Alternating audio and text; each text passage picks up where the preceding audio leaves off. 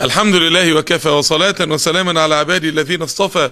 اللهم لك الحمد كله ولك الملك كله وبيدك الخير كله وإليك يرجع الأمر كله. لبيك يا ربنا وسعديك والخير كل الخير في يديك والشر ليس إليك أنا بك وإليك.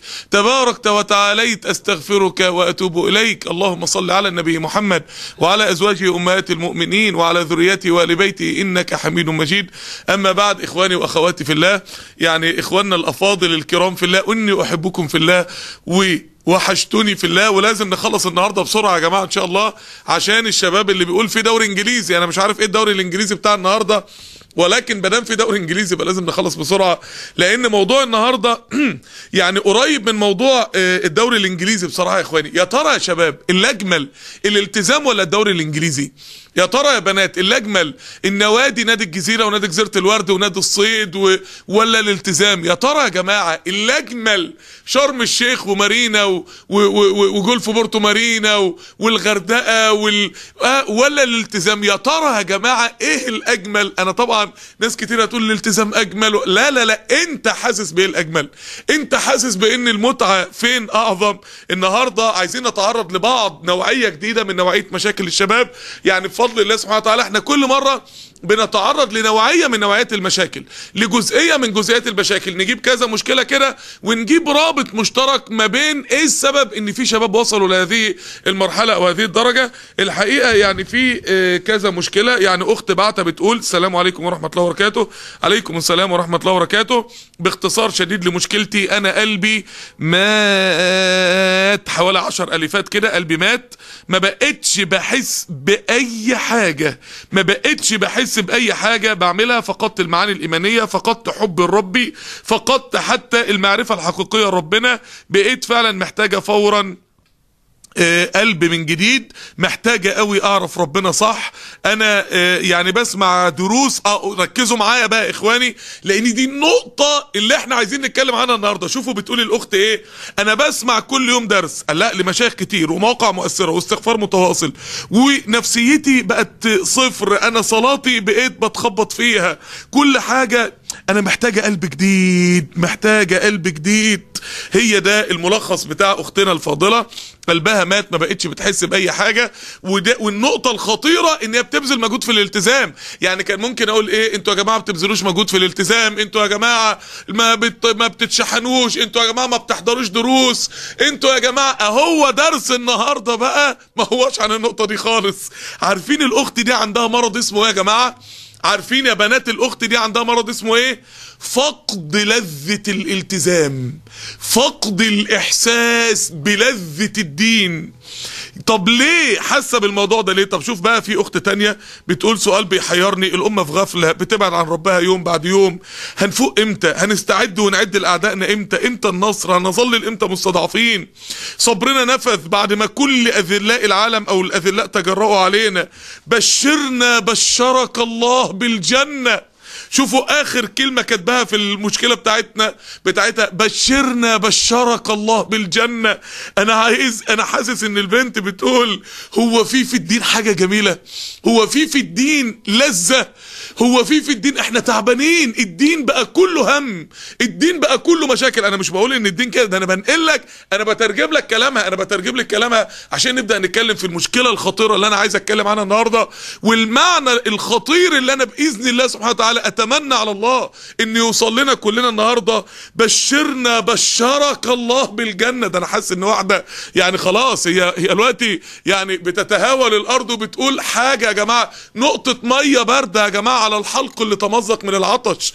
يا اخوانا حاجة جميلة نحس إن في حاجة جميلة في الصحراء اللي إحنا فيها والتعب اللي إحنا فيه. يا اخوانا عايزين نحس بلذة عايزين نحس بأمل عايزين نحس بمعنى السؤال الثالث برضه إحنا بنحاول نجيب يعني مجموعة من المشاكل آه ونبدأ إيه زي ما جبنا مشاكل مثلا الف... الشباب والفتيات فأنا مش عايز بقى أكرر مشاكل شباب وفتيات زي ما جبنا مشاكل الشباب والاكتئاب النفسي والتوتر المرضي والعلاج النفسي وعملنا حلقة عنها حلقة الاكتئاب النفسي زي ما جبنا واتكلمنا برضه إيه اللي بيوصلنا للمرحلة ديت زي ما جبنا بإذن الله سبحانه وتعالى أنا هتجنن يا شيخ.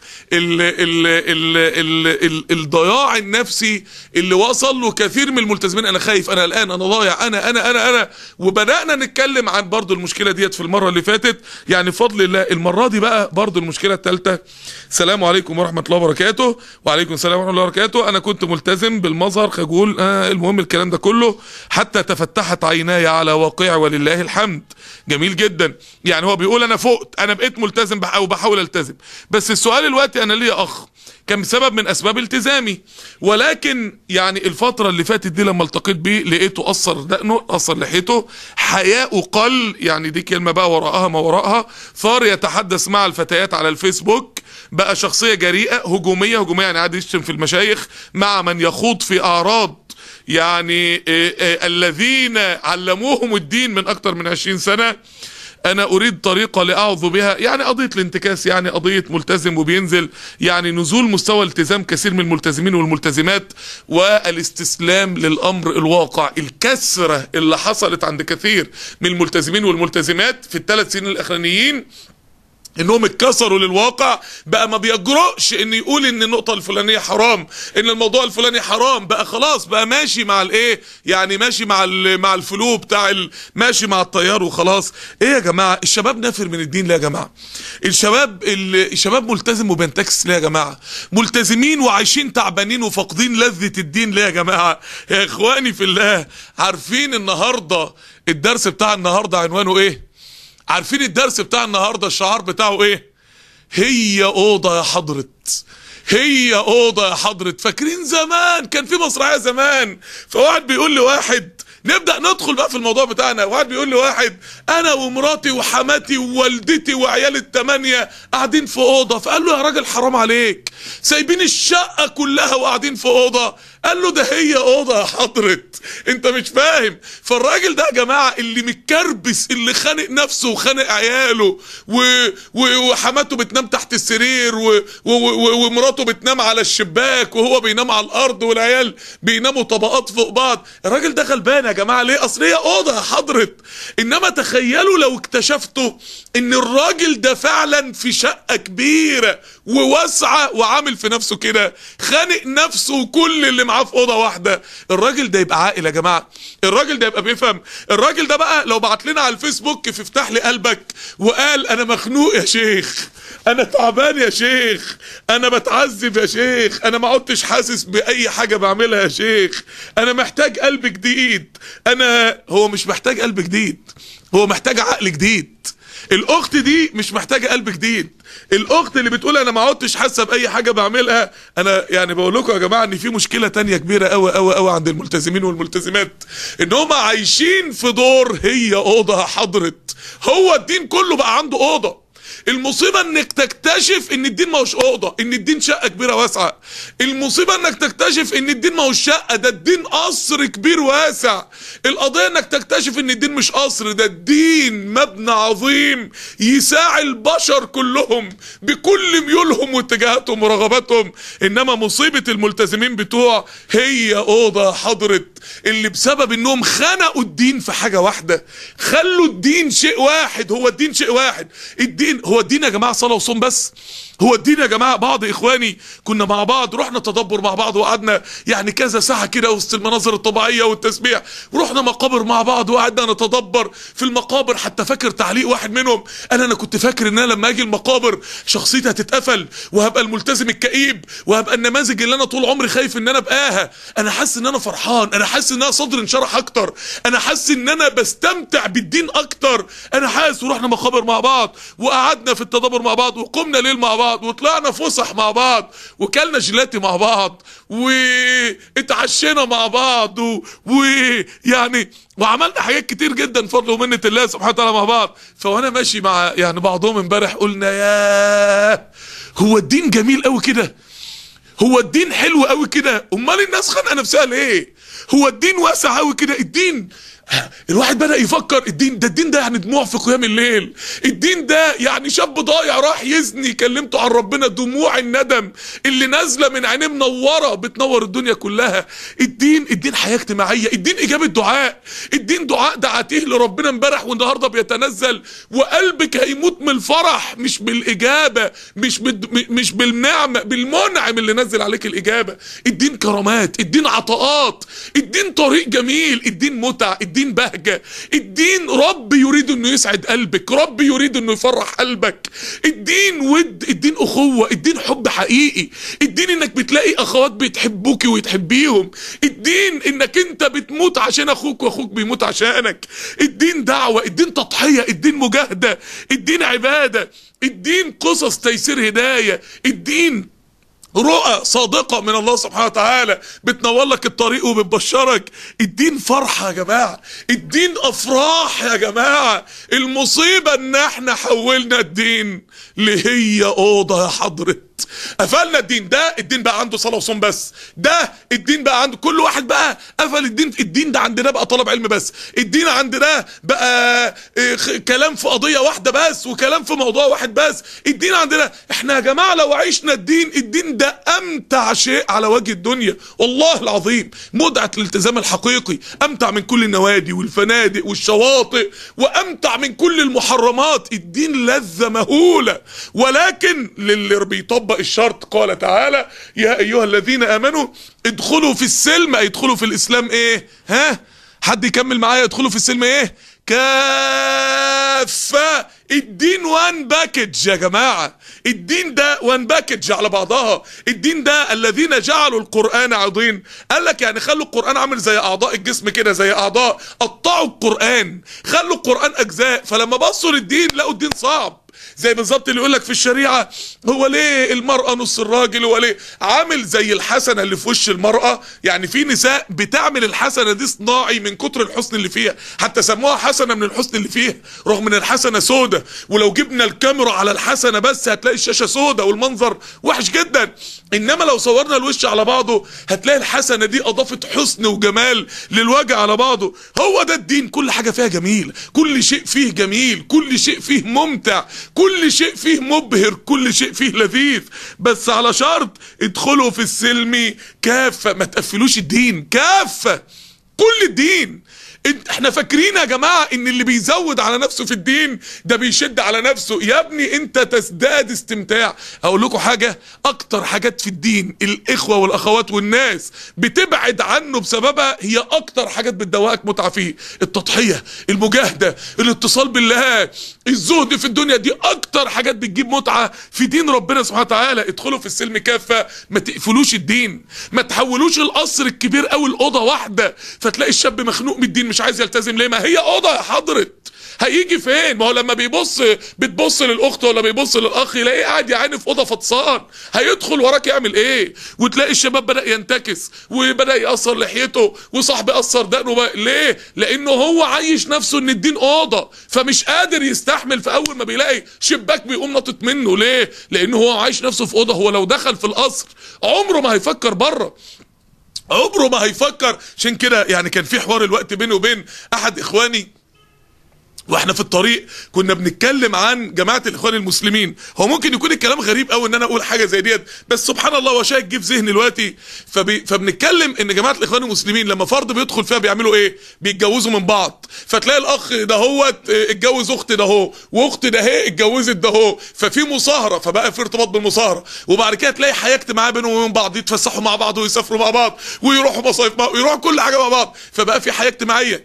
وفي نفس الوقت في جلسات إيمانية مع بعض. فبقى في ارتباط ديني مع بعض وفي نفس الوقت في رسالة مشتركة بينهم وبين بعض فبقى في ارتباط. وفي نفس الوقت يشغلوا بعض. اللي عنده شركة يشغل كل الايه؟ الآخرين عنده. ده فعلا دي جماعة الإخوان المسلمين فعليا يعني. واللي إيه أنتوا عارفين إن أنا يعني يعني يعني بفضل الله سلفي وأحب كل الجماعات الإسلامية كلها ما دامت على منهج أهل السنة. ولكن أنا. أنا برصد لك واقع. فتلاقي تدخل مثلا الشركة بتاعت الفلان تلاقيه مشغل كل اخوانه معاه وتلاقي المحل بتاع فلان مشغل إخوانه معاه وتلاقي فلان وفلان وفلان عملوا تجاره مع بعض. فبقى التجارة مع بعض الرسالة مع بعض العبادة مع بعض الحياة الاجتماعية مع بعض المصاهرة مع بعض. يسيبوا بعض دول إزاي؟ مين اللي يقدر يفرق جمع زي ده بقى؟ يعني يعملوا لهم بقى معتقلات يضربوهم بالرصاص من الطيارات يضربوهم بالارب جهات من العربيات الهمر اللي جاي يا عم يعملوا لهم اللي هم يعملوهم. دول ناس عرفوا يعني إيه أخوة. دول ناس عرفوا يعني إيه انصهار داخلي. دول ناس عرفوا يعني إيه ترابط. يا جماعة أنا عايز أقول لكم إن الدين لما بيتفتح الدين لما بنكتشف القصر ما حدش هيفكر إنه يخرج. هيبقى بالظبط زي قول الله إن الذين آمنوا وعملوا الصالحات كانت لهم جنات الفردوس نزلا. خالدين فيها إيه؟ لا يبغون عنها حولا. مش عايز يغير. مش عايز يسيبها. يعني اللي عنده عربية نفسه يجيب عربية أحسن اللي عنده شقة نفسه في شقة أحسن. إنما الدين يا جماعة زي الجنة بالظبط لا يبغون عنها حولا. اللي يعرف حقيقة القصر عمره إنما اللي قاعد لي جوه أوضة خانق نفسه ومكره الناس في الدين ومنفر الناس من الدين. ولما بينط من الشباك يقول لك يا أخي الدين كان صعب. يا ابني أنت ظالم الدين معاك. اللي انت بتعمله ده مش شمولية الإسلام. مش شمولية الدين. مش عشان كده علماء التربية اتكلموا في مفهوم التوازن التربوي. إنك لما تربي الأخ ما تقولوش الدين صلاة وصوم بس ما تقولوش الدين دعوة بس ما تقولوش افتح له الدين على بعضه. عرفوا أسماء الله الحسنى عرفوا الحياة الاجتماعية عرفوا الأخوة عرفوا الحب في الله عرفوا التضحية عرفوا نصرة الدين عرفوا كل الأفاق اللي تعرفوا جمال الدين. عشان كده ليه ربنا قال ادخلوا في السلم كافة؟ لأن جمال الدين مش هيبان غير لما يبقى على بعضه. جمال الدين مش هيبان غير لما يبقى الصورة كلها على بعضها. عشان كده الكلمة الخطيرة قوي قوي قوي قوي اللي بتفهمنا إن إحنا مش طبقنا الدين إحنا خدنا أوضة وقفلنا على نفسنا فيها وقلنا إن هي دي الدين. الكلمة الخطيرة قوي كلمة ابن تيمية رحمه الله كلمة دي يا جماعة عايزة كتب تتشرح فيها. هو بيقول ماذا يفعلون بي؟ جنتي في صدري جنتي في صدري الكلمة دي ما يعني أنا ما أعتقدش إن في إنسان يقدر يشرحها. مهما كان بلغته. أنتوا عارفين يعني إيه يا جماعة جنتي في صدري؟ يعني يا جماعة ابن تمام مش بيقول أنا جوايا فرحة. مش بيقول أنا جوايا سرور. مش بيقول أنا جوايا سعادة. أنا جوايا جنة. أنا جوايا جنة يا ناس. يعني إيه أنا جوايا جنة؟ الجنة دي فيها ألف فرحة وفرحة. الجنة دي فيها ألف سبب للسعادة الجنة دي فيها مليون فرح. هي الجنة دي فرح واحد ولا فرحين ولا ثلاثة الجنة بيقولك أنا ماشي صدري ده مجمع أفراح. أنا صدري ده فيه ألف فرح وفرح. جنتي في صدري كلمة مهولة. هيعملوا لي إيه؟ هياخدوا مني إيه؟ ده أنا يا ناس ماشي وجوايا جنة زي الجنة اللي عرضها السماوات والأرض. جنة من المشاعر والإيمانيات. أنا ماشي جوايا جنة. أنا ماشي جوايا أفراح. فرحان بأسماء الله الحسنى. أنا بكلمكم دلوقتي وقدامي في الحيطة الناحية التانية لوحة الأسماء الحسنى. كل ما ببص الاسم بفرح بربنا. كل ما أبص الاسم الوكيل يا سلام ده أنت لما بتوكل محامي شاطر بتحطه في بطنك بطيخه صفر وتروح تنام. أمال لما ربنا اللي يبقى وكيلك. ولله المثل الأعلى. كل أبص الاسم الحميد قدامه يعني يقول لك يستاهل الحمد. كل حاجة ربنا بيعملها. كلها حمد. كنت مع بعض إخواني دلوقتي. طلعنا كده على الطريق السريع رحنا كده إيه؟ آه, آه الفخراني في آجا كده إيه ناكل بليلة مع بعض يعني حاجة كده بعض إخواني وحبايبي يعني. فواحد مننا جايب ابنه الصغنن فابنه عاي يعني ابنه عايز يجري حافي والدنيا برد وأبوه عايز يلبسه الشبشب اللي في رجليه. فالواد بيقاوم وأبوه بيقاوم والواد بيقاوم. يعني ضايقوني بقى يا جماعة خنقتونا. فأنا حتى بص قلت سبحان الله. ولله المثل الأعلى.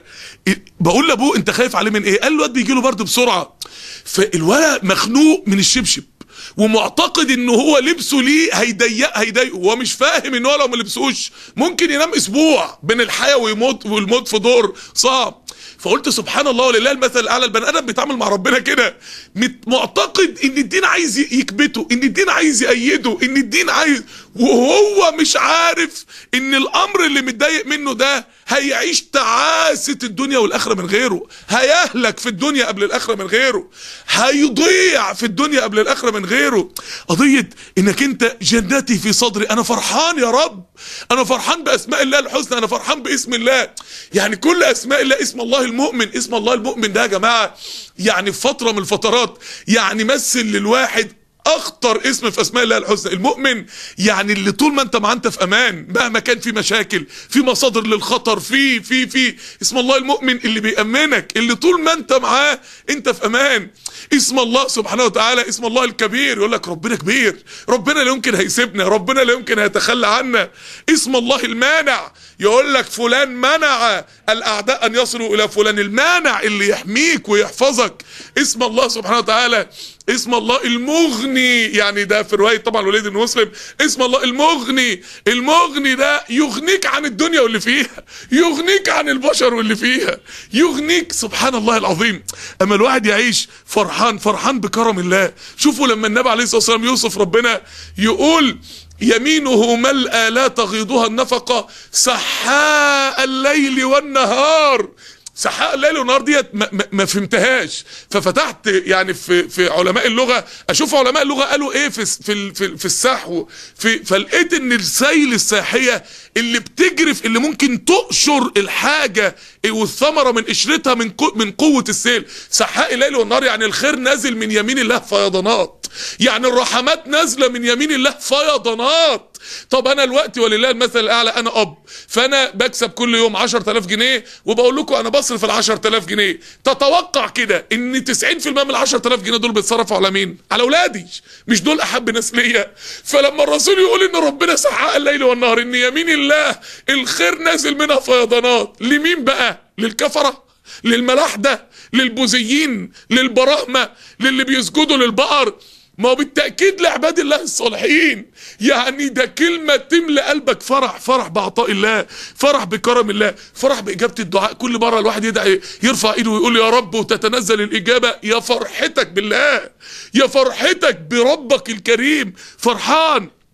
بغنى الله. لما النبي يقول لربنا أسألك من الخير كل الدعاء ده لما باجي ادعي في الصلاة بضحك. يعني الواحد بيبقى يضحك غصب عنه. أسألك من الخير كله عاجله وآجله. ما علمت منه وما لم أعلم. السؤال ده الطلب ده يتطلب من مين؟ مين اللي من أهل الدنيا يطلب منه الطلب ده؟ يعني الواحد ساعات يبقى يعني بيبقى عايز يدعي بيه. مش عشان الدعاء بس نفسه يعني الدعاء نفسه نسأل الله من الخير كل عاجله وآجله. ما علمنا منه وما لم نعلم. اللهم آمين. ونعوذ به من الشر كله عاجله وآجله. ما علمنا منه وما لم نعلم. اللهم آمين. ولكن الواحد بيدعي بالدعاء ده عشان يفرح بربنا. عشان يفتكر ربنا ممكن يعمل له إيه؟ عشان يفتكر كرم ربنا. الفرح الفرح الفرح بتنزل الله. أنا يا رب عشان أنا يا رب يعني انت ممكن يقول لك يعني تخيلي كده بقى يعني إيه عربية كده بقى إيه 4 باي 4 ولا عربية مفيمة وقامت واقفة قدامك آه وقام نازل منها ناس مسؤولين بقى والحاجات اللي بتبقى في ودانهم ديت وبيتكلموا بالذلك انت مطلوبة دلوقتي إيه المحافظ عزمك عنده في بيته المحافظ عازمني أنا أنا ده انت هتقعدي تتكلمي سنة عن ان ده انت طول عمرك هتفضل تتكلمي عن المحافظ عازمك في بيته. يعني مرة دخلت محل يعني شاب من الشباب يعني بيصلح حاجات معينة في المحل بتاعه يعني فلقيته معلق صورة المحافظ وهو بيسلم عليه. كان بيلعب ملاكمة زمان ولا ألعاب قوة بيسلم عليه. قلت سبحان الله عشان مرة المحافظ اللي زمانه مات بقى ولا زمانه اتشال وجيبه يداله 50 واحد المحافظ مد إيده وحط إيده في إيده. حاططها ومبروزها ويا سلام سلم وبيتباهى قدام الدنيا. أمال الله! الله لما يقول للملأ الأعلى حمدني عبدي وأثنى علي عبدي. أمال لما الله يتنزل يعني تخيلوا كده لقينا وفد جاي من رئاسة الجمهورية ونازل قدام بيتك إيه رئيس الجمهورية جاي يزورك؟ أنا؟ مخصوص. طب أمال الملك متنزل عشانك ملك الملك كله. دي مش تفرح يا جماعة الفرح يا جماعة الفرح برد الله علينا في الفاتحة الفرح بالجنة الفرح بالإسلام. يعني أنا عايز أقول يعني ابن تيمية بيقول جنتي في صدري ليه؟ ليه كلمة جنتي في صدري؟ جمال الدين مش هي أوضة يا حضرة؟ الصورة اللي بتحسسني بجمال الدين قوي. سورة الفاتحة. سورة الفاتحة بتفهمك الدين ده جميل قد إيه. الدين ده عظيم قد إيه. لما ربنا يقول اهدنا الصراط المستقيم. كل كلمة فيها بتحسسك بجمال الدين. اهدنا الصراط. بدأت أدور في كلمة الصراط. أشوف يعني إيه الصراط. كلمة الصراط دي يعني إيه؟ لقيت إن السرايت في اللغة الفلوذج. يعني إيه الفلوذج؟ زي البسبوسة بالفستق كده. يعني زي البسبوسة بالمكسرات كده. حاجة يعني تحفة يعني. حاجة كانت زمان بيعدوها يعني من ولائم الملوك. الحلويات اللي الملوك والمالتي مليونيرات بس اللي بياكلوها. فيعني يا جماعة الصراط ده الطريق الجميل الطريق الممتع. الطريق المبهج. ربنا بيقول لك الطريق جميل قد إيه؟ الصراط يعني يقول لك فرس سرطان يعني بياكل الطريق أكل. يعني الطريق السريع الطريق اللي مش هتتعطل فيه اللي مش هتتبهدل فيه. يقول لك الصراط يعني الطريق الواضح. الطريق الواضح السلس السهل. يقول لك استرط الطعام يعني بلع اللقمة على طول بسرعة البلعوم قام إيه؟ منزلها في المعدة. الطريق السهل يا جماعة. يعني كلمة الصراط دي جمعت معاني السهولة والجمال والمتعة والبهجة. والفرحة والسرعة والوضوح. ده الصراط هو ده الطريق طب يعني إيه هدنا الهدى اللي هو نور الشمس. يعني ده طريق الدين ده طريق النور كله. لما ربنا يقول الله نور السماوات والأرض يعني كل ما هتقربي من ربنا أنت بتقربي من النور. يعني كل ما تقرب من ربنا أنت بتقرب من النور. في الفاتحة بسم الله الرحمن الرحيم. الله الرحمن الرحيم ده اسم جميل قوي. الحمد لله رب العالمين. ماشي. الرحمن الرحيم. قال لا تاني. ده إحنا لسه في البسملة قلنا الرحمن الرحيم. الرحمن الرحيم الرحمن الرحيم. بعض المفسرين قال لك لإن أكتر صفتين شواهدهم ماليه الكون كله هي الرحمن الرحيم. أما سمعت الكلمة دي اتصدمت. لا أمال أنا مش حاسس بكده ليه؟ أنا بالنسبة لي مثلا اسم الله العظيم عظمة الله في الكون كله. اسم الله القدير اسم الله الخالق مثلا. يعني ده أكتر أسماء أنا شايف إن شواهدها ماليه الكون فالواحد يرجع يقف مع نفسه كده. الرحمن الرحيم. يعني الدنيا كلها رحمات. حتى بص في جسمي. يا نهار أبيض ده أنا ست سنين بدرس في كلية الطب رحمات ربنا في جسمي. لو الرئة كانت أقل شوية كان الإنسان ماشي ينهك. والعياذ بالله ويلهث. زي الدواب. رحمات ربنا في الكون في الشمس في بعدها في حجمها في القمر في بعده في حجمه في القشرة الأرضية في نسبة الأكسجين. رحمات ربنا في تنزل القرآن. رحمات ربنا في إجابة الدعاء. رحمات ربنا إزاي ربنا عامل العاصي. ومن باب أولى إزاي ربنا عامل الطائع. رحمات ربنا في رؤية ربنا يوريها لك في فترة انت تايه فيها يدلك فيها على طريق بس احذر إنها تكون من الشيطان طبعا أهل التأويل هم اللي فاهمين الرؤية الحق من الرؤية من الحلم اللي من الشيطان. رحمات ربنا في تي في, الك في تيسير الهداية. رحمات ربنا اللي خلت خلتكم قاعدين الوقت يا شباب. ونص مليون موقع إباحي بينكم وبينهم ضرب على زرار. مين اللي جابك؟ مين اللي جاب قلبك؟ مين اللي جاب بنصيتك عشان تسمع ربنا؟ مين اللي أخذ بقلبك اليه وشباب أذكى منكم وأقوى منكم وممكن يكونوا أحسن مننا كلنا وقاعدين الوقت بضربة زرار قدام المواقع الإباحية. اشمعنى أنت اللي ربنا اختارك؟ اشمعنى أنت اللي ربنا سمعك؟ اشمعنى أنت اللي ربنا جابك؟ الرحمن الرحيم. من ساعتها وأنا لما باجي في فتح أقرأ الرحمن الرحيم احس إن أنا قلبي بيتغسل في نور رحمة الله. احس إن الرحمن الرحيم ده زي إحساس اللي عنده فشل كلوي لما بيقعد على مكنة غسيل الكلى. ده غسيل قلب بقى. بتملى قلبك بحسن الظن بالله. ربك الرحمن الرحيم. افرح الفاتحه كلها جمال الطريق. زي ما ربنا سبحانه وتعالى يقول فيها مالك يوم الدين. يعني إيه مالك يوم الدين؟ يعني أنتوا عارفين يعني بعض المفسرين قال لك الدين يعني الجزاء يبقى يوم الجزاء والدين يعني الحساب يبقى يوم الحساب. والدين يعني الخضوع يبقى يوم الخضوع. في واحد تاني قال لك قال لك يا جماعة الدين هو الدين. يعني إيه الدين هو الدين؟ يعني اسمه يوم الدين. هو اليوم بتاع الدين. يعني إيه اليوم بتاع الدين؟ يعني زي ما أقول لواحد عريس مثلا ده يومك يا عريس ده ليلتك يا عريس ده يوم الدين. ده اليوم اللي هيظهر فيه عز الدين وجمال الدين وعظمة الدين. اليوم اللي هيتعرف فيه جمال جلسة الضحى اللي كنت بتقعد تتوب فيها ومش قادر تكملها. اليوم اللي هيتعرف فيه جمال القيام. اليوم اللي هيتعرف فيه الذكر جميل قد إيه. اليوم اللي هيتعرف فيه الدين بيرفع قد إيه. اليوم اللي هيتعرف فيه جمال الصيام. اليوم اللي هيتعرف فيه جمال الدين الدين بيعمل جمال قد إيه يا جماعة في الحياة؟ يعني مالك يوم الدين ده إن إن إن اليوم اللي هيظهر فيه جمال الدين جمال الإسلام. عكس بقى يعني يوم الدين برضه النص درجة في الثانوية العامة بتخلي الشاب بدل ما يدخل كلية وهو عايزها في بلده بيروح كلية تانية ما هوش عايزها في بلد تانية ويتلطم أربع سنين بقى في المواصلات. قال له يعني يا ندمي بيقول لك يا ندم إني ما ذاكرتش. يا ندمي حتة الأرض الفلانية كانت يعني كان يعني والدتي الله يرحمها عندنا في المشاية في المنصورة متر الأرض وصل لقرب ال 100000 جنيه. فتقول أنا كان معروض عليا المتر ب 35 قرش وبالتقسيط. فتعلمت كلمة يا ندمي بقى.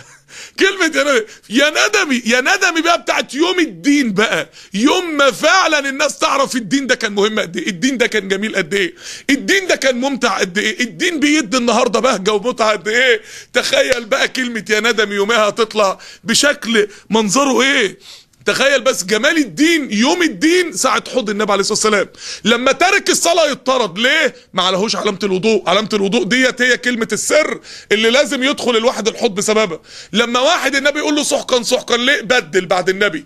بدلت بدلت حجابها وبدلت وبدلت وبدل أخلاقه وبدل شريعته واتبع واتبع شرايع تانية. بدل لما واحد يضطرد تالت اللي هو بقى إيه شايل على رقبته بقرة ولا جاموسة اللي هو كان حرامي اللي كان بيغل أموال المسلمين اللي كان بيسرق ناس أمال اللي بيسرقوا بلاد بقى؟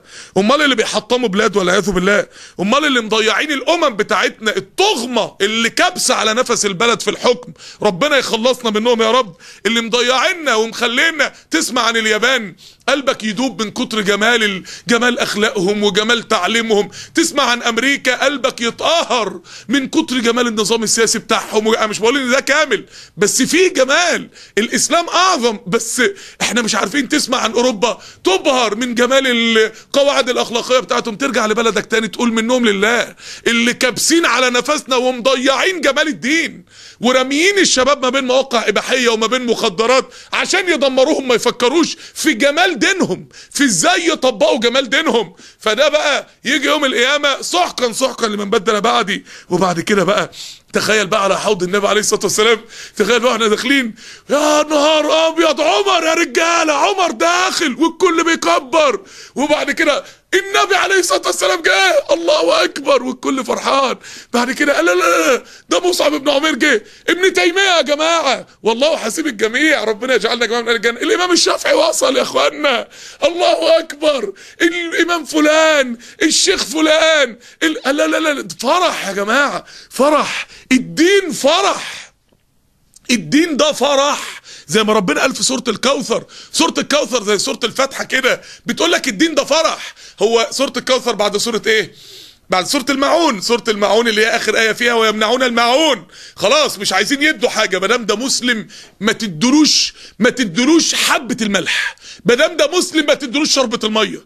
مادام ده مسلم ما, ما تعاملوش ولا تديله حاجة. فجت سورة الكوثر بعد سورة المعون سورة المعون ويمنعون. يبقى آخرها يمنعون. سورة الكوثر أولها إن إيه؟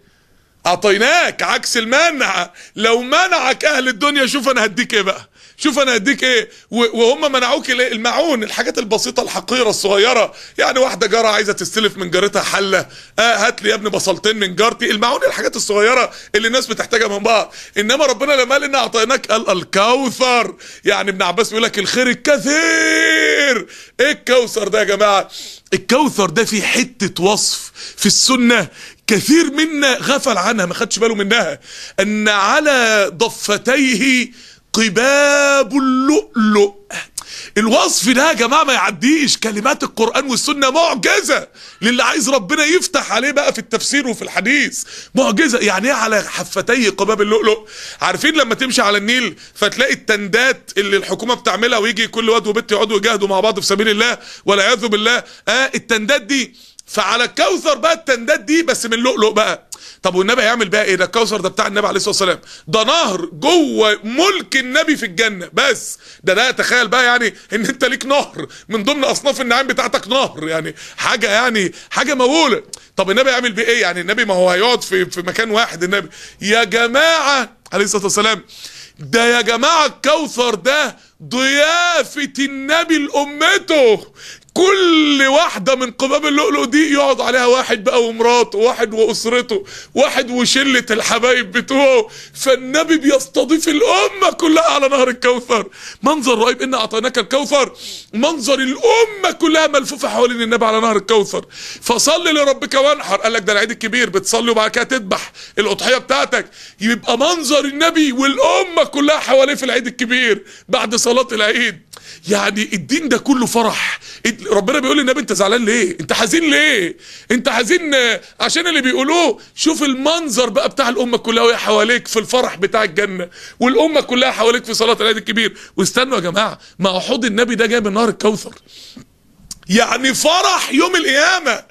يعني يوم القيامة والأمة كلها حوالين النبي عليه الصلاة والسلام وكلنا بنصرخ من الفرحة كل ما شخصية من الشخصيات التاريخية المؤمنة المجاهدة والعلماء كله بيدخل ده فرح ده فرح مهول. أول مرة نشوف بعض بقى أول مرة كلنا نعرف بعض والنبي عليه الصلاة والسلام بيسقينا بإيديه. يعني شوف الفرح بقى 100 فرح.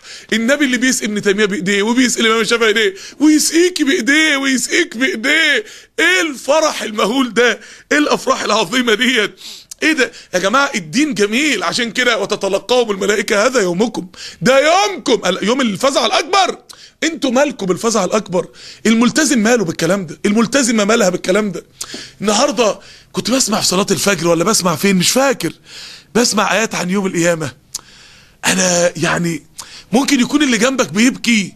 من الكلام عن الصراط والكلام عن الحوض والكلام عن الميزان وكلام أنا قاعد أتخيل يا نهار أبيض! أيوه كنا في صلاة الفجر فعلا في خاتمة سورة قاف يوم تشقق الأرض عنهم صراع.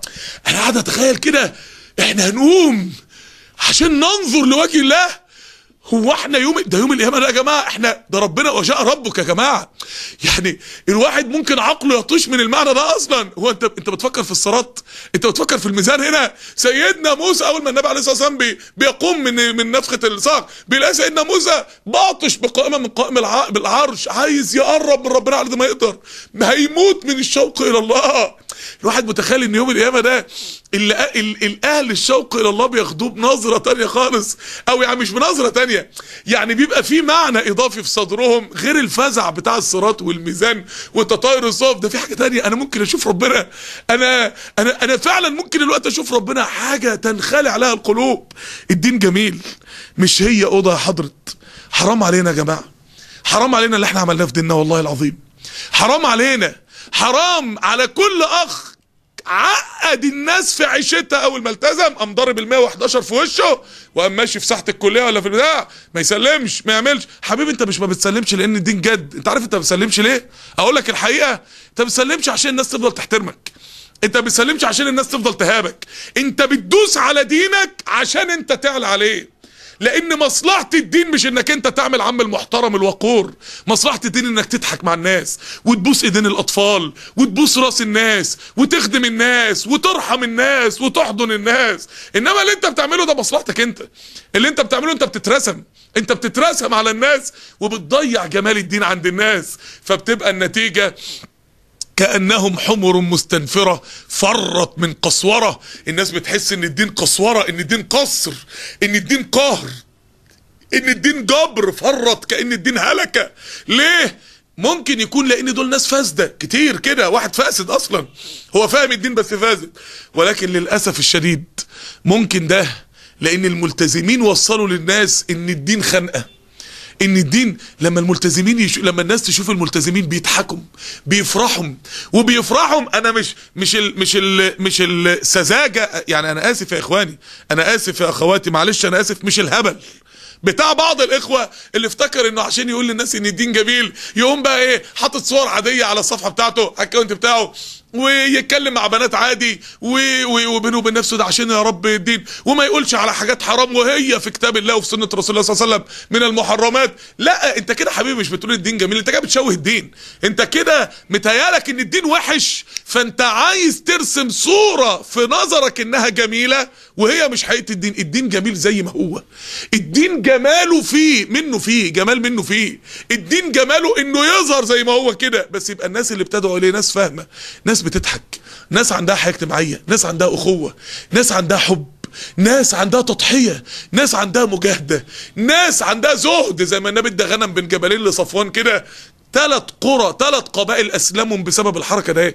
ثلاث قبائل يعني قول مثلا 10000 بني آدم نجوا من الخلود في جهنم بسبب الحركة دهيت. ليه؟ الناس انبهرت. هو الدين كده؟ هو الدين العطاء ده كله؟ هو الدين الكرم ده كله؟ هو الدين النهارده ربنا من عليا قعدت جزء من جلسة الضحى ب إيه إيه يعني باب في كتاب الشمائل المحمدية لمحمد بن جميل زينو ربنا يحفظه. إيه الكتاب ده كتاب الشمائل جميل زينو كتاب مشهور جدا يعني. كتاب معروف جدا. فتحت أحاديث في الأخلاق. يعني النبي عليه الصلاة والسلام بيتكلم على الأخلاق هو الكتاب كله تواضع النبي حلم النبي رحمة النبي شجاعة النبي عليه الصلاة والسلام. فالواحد ده بيقعد يبص في الاحاديث ويصلي على الرسول صلى الله عليه وسلم بيبقى عامل زي ما تبص في الكون كده وتسبح الله. فبعد شوية التسبيح بيعظم في قلبك قوي لدرجة إنك أنت وأنت لوحدك تلاقي لسانك بيسبح كده قلبك بيسبح. فبرضه نفس الموضوع الصلاة على الرسول عليه الصلاة والسلام لما تقعد تبص بقى في أخلاق النبي عليه الصلاة والسلام وأحاديث الأخلاق وأحاديث صفات النبي عليه الصلاة والسلام وأنت بتقول عليه الصلاة والسلام عليه الصلاة والسلام تلاقي نفسك بعد كده أخلاقك اتغيرت تلاقي نفسك بعد كده الصلاة على النبي بقت حاجة تانية.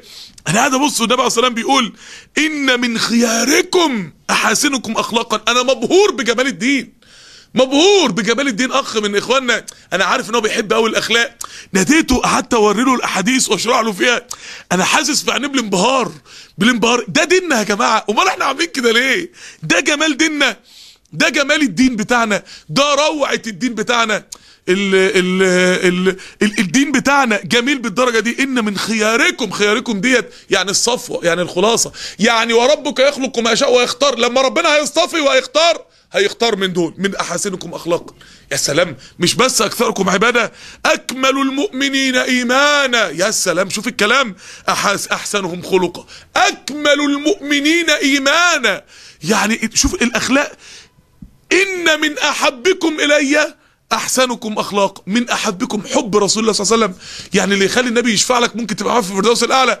حب رسول الله بسبب الأخلاق. لا ده ده ده, ده أنا بعد ما خدت الصدمة بتاع الحديث ده بقى خدت الصدمة اللي بعدها. أحب عباد الله إلى الله أحسنهم خلقا. حب الله ده أحب عباد الله إلى الله أحسنهم خلقا. يعني المو الموضوع يا جماعة ممكن يوصل لأنا زعيم ببيت في ربض الجنة لمن ترك المراء وبيت في وسط الجنة لمن ترك الكذب وبيت في أعلى الجنة لمن حسن خلقه. يعني الأخلاق تخلي عندك قصور في كل درجة من درجات الجنة تخليك راجل عندك أملاك وعقارات في كل مكان من أماكن الجنة. الأخلاق ممكن. طب شوفوا ده بقى. إن العبد لا يبلغ بحسن الخلق إن المؤمن لا يدرك بحسن خلقه. إن المؤمن لا يدرك بحسن خلقه درجة الصائم القائم. ده الصائم ده يعني جنة الريان. القائم ده يعني أولئك يجزون الغرفة. الفردوس الأعلى.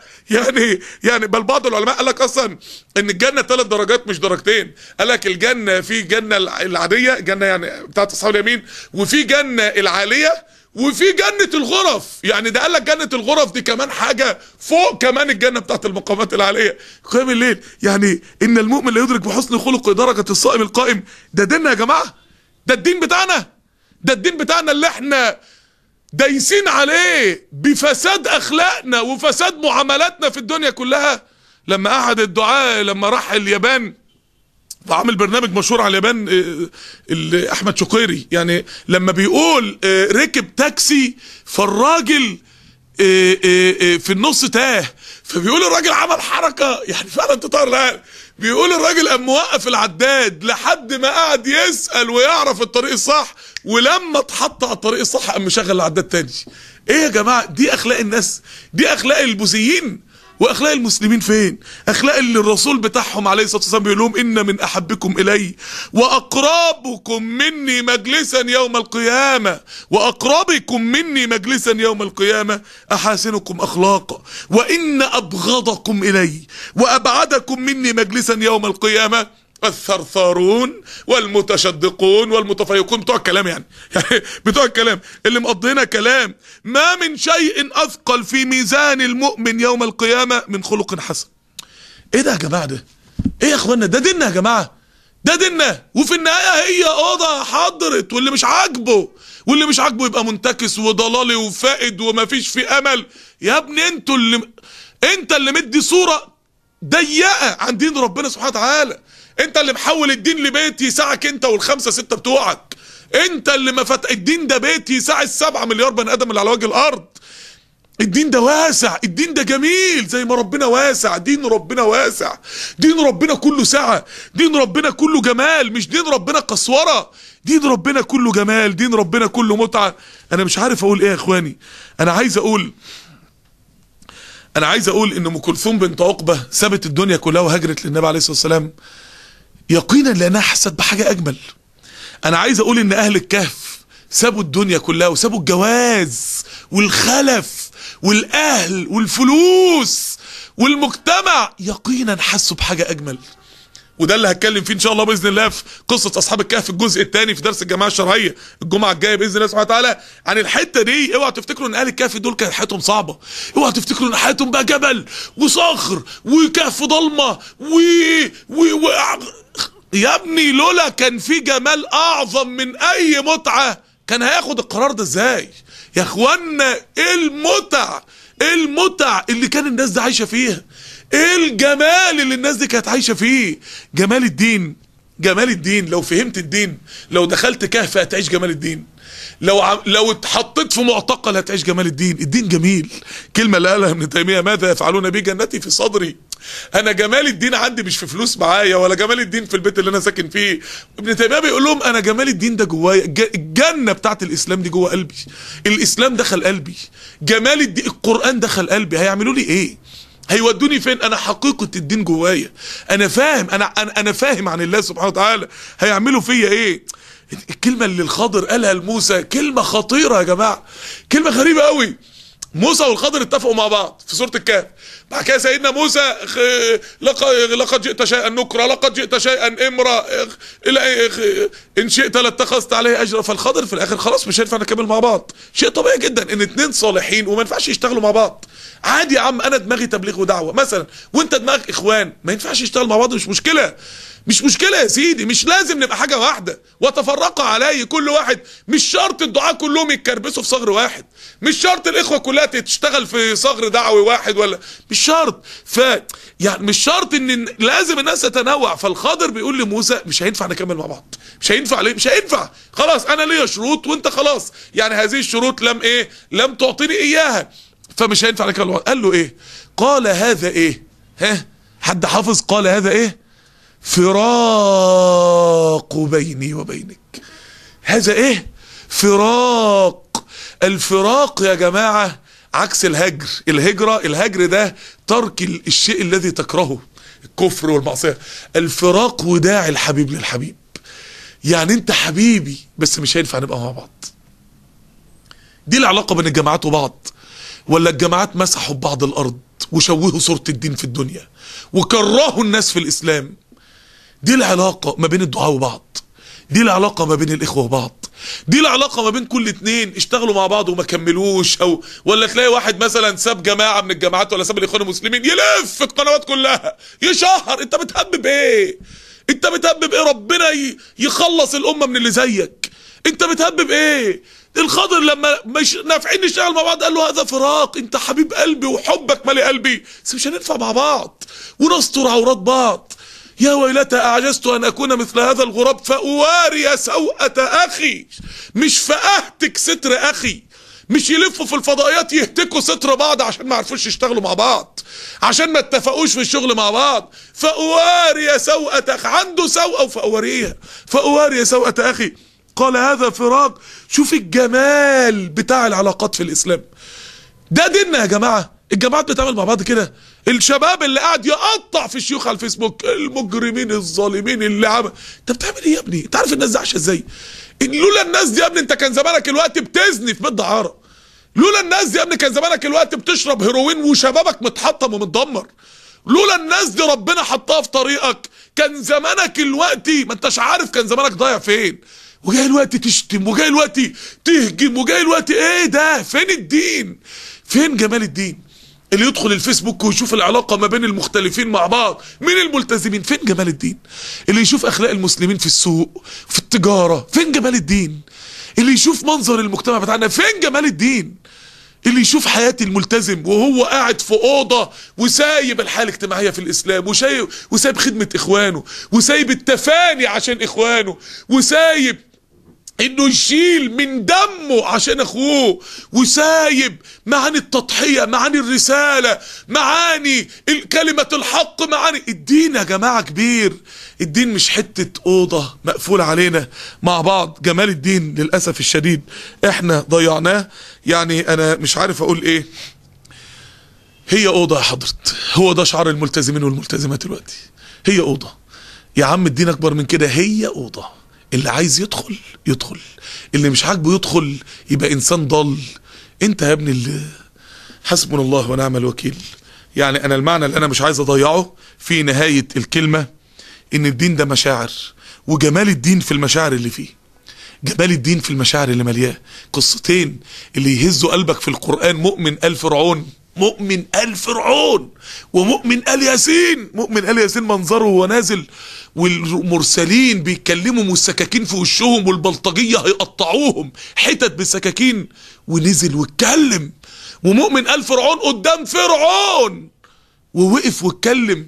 أنا بحس إن القصتين دول قصة أنا مش قادر أسكت مش هقدر أسكت. مش هقدر اسكت مش هقدر أشوف. إخواني بيتظلموا ويتقطعوا واسكت. مش هقدر أشوف أبناء التيار الإسلامي بيتحرقوا في ربع العدوية واسكت. مش هقدر أشوف الظلمة بيعتدوا على دين ربنا وبيعملوا دستور ضال ضلالي. واسكت. مش هقدر اسكت. مش هقدر أشوف الشباب عايش وسط المنكرات بفعل فاعل. بفعل فاعل عشان الشباب ده ما يفوقش لدينه وما يفوقش لدنيته وما يفوقش لوطنه. واسكت. مش هقدر اسكت. مش هقدر أشوف ربنا بيعصى في الشارع. واسكت. اللي يقول عليها إرهابي يقول واللي يتريقوا علينا في البرامج يتريقوا. واللي نتحارب نتحارب مش هقدر اسكت ان الدين ده زي ما ربنا قال كده وقال رجل مؤمن من آل فرعون إيه؟ يكتم إيمانه. إن الإيمان ده بركان مشاعر. كتم بركان أسهل من كتم الإيمان. لما يكون إيمان صادق لما تكون مشاعر صادقة. عشان كده يا إخواني في الله الدين مشاعر. لما واحد يقول أنا ما عدتش حاسس بحاجة مش حاسس بحاجة ليه؟ إزاي؟ كل جنة المشاعر دي ومش حاسس بحاجة. طب عايزين نتعلم المشاعر. نتعلمها منين؟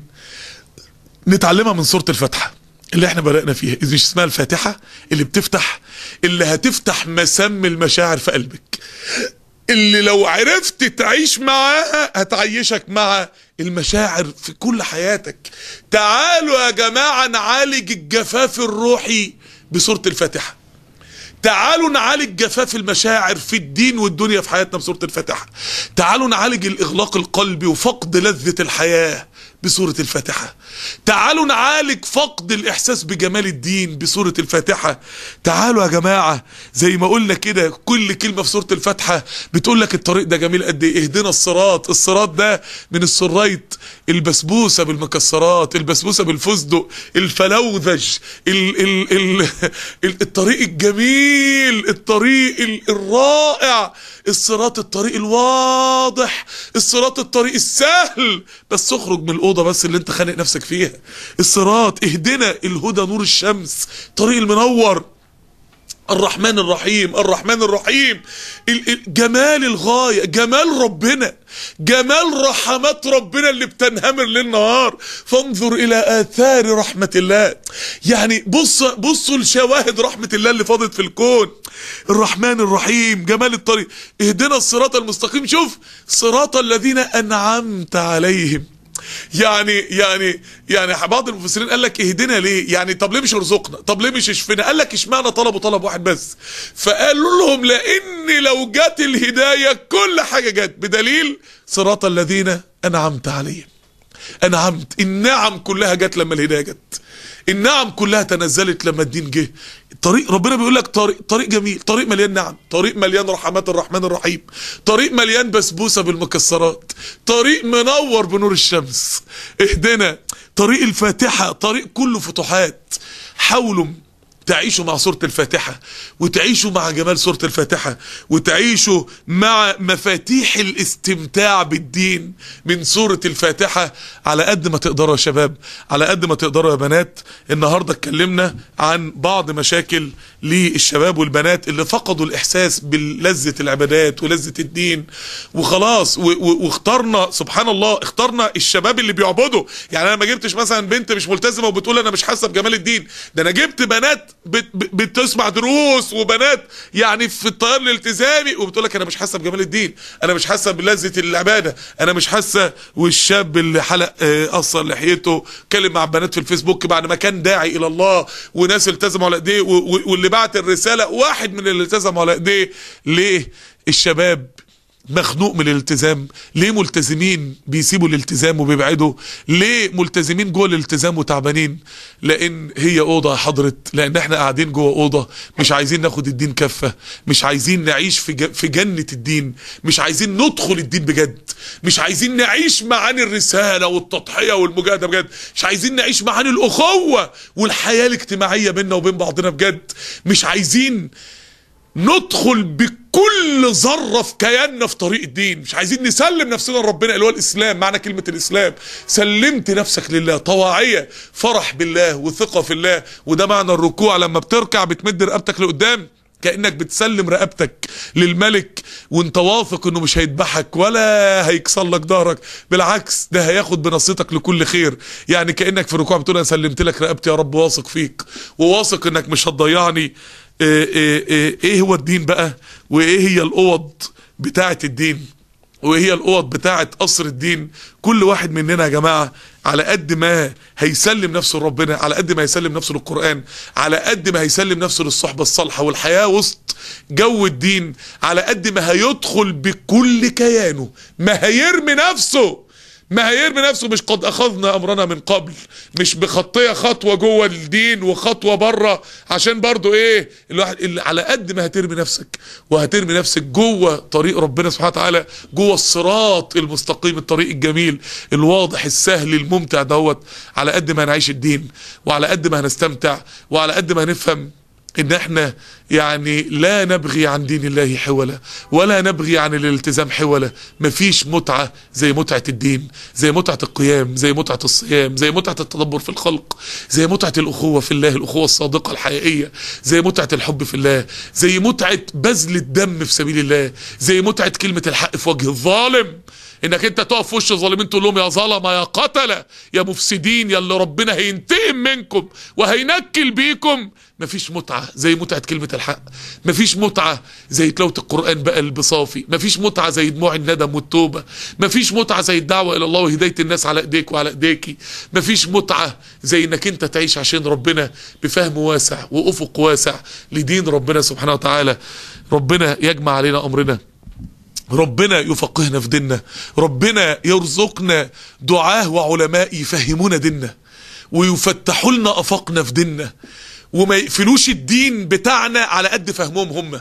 على قد علمهم هم على قد أفقهم هم. لا يبقى ربنا مديهم أفق واسع يعلمونا وينورونا ويفهمونا ويفجروا الطاقات الكامنة جوه كل آية وجوه كل حديث وينوروا لنا الأوض بتاعة القصر الكبير اللي إحنا لحد دلوقتي مش عارفين فيه غير أوضة أوضتين ويعرفونا ديننا جميل قد إيه وديننا عظيم قد إيه وديننا ممتع قد إيه. ربنا يرزقنا دول. لو إحنا نستاهل ربنا يبعتهم لنا.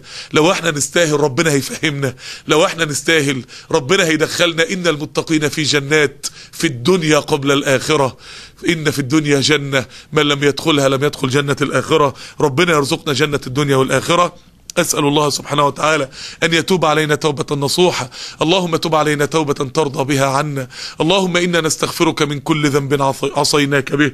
اللهم إنا نستغفرك. اللهم إنا نستغفرك. اللهم إنا نستغفرك يا ربنا. من كل طاعة فعلناها خالط قلوبنا فيها الرياء وابتغينا بها غير وجهك.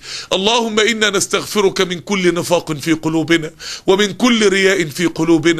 ومن كل عجب أو كبر في قلوبنا. اللهم طهر لنا قلوبنا. اللهم زك لنا نفوسنا. اللهم فهمنا ديننا. اللهم فهمنا ديننا. اللهم فهمنا إسلامنا. اللهم اجعلنا مسلمين لك. ومن ذريتنا أمة مسلمة لك. اللهم أرنا الحق حقا وارزقنا اتباعه وأرنا الباطل باطلا وارزقنا اجتنابه.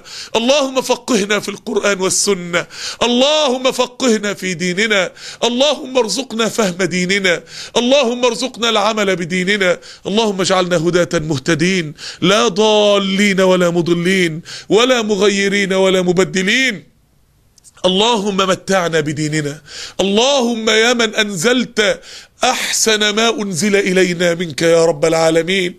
اللهم يا من اصطفيت لنا أحسن دين وأحسن كتاب وأحسن شريعة وأحسن عبادة.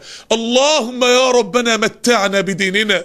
اللهم متعنا بأسماعنا وأبصارنا وقواتنا ما أحييتنا. اللهم متعنا اللهم متعنا اللهم متعنا بديننا. اللهم متعنا بأسماعنا. اللهم متعنا بأبصارنا. اللهم متعنا بقواتنا ما أحييتنا. اللهم إنا نسألك عيشة هنية. اللهم إنا نعوذ بك من الهم والحزن. الله ونعوذ بك من غلبة الدين وقهر الرجال. اللهم ارزقنا الأخوة الصادقة. اللهم ارزقنا الحب الصادق فيك يا رب. اللهم املأ قلوبنا حبا لبعضنا فيك يا رب.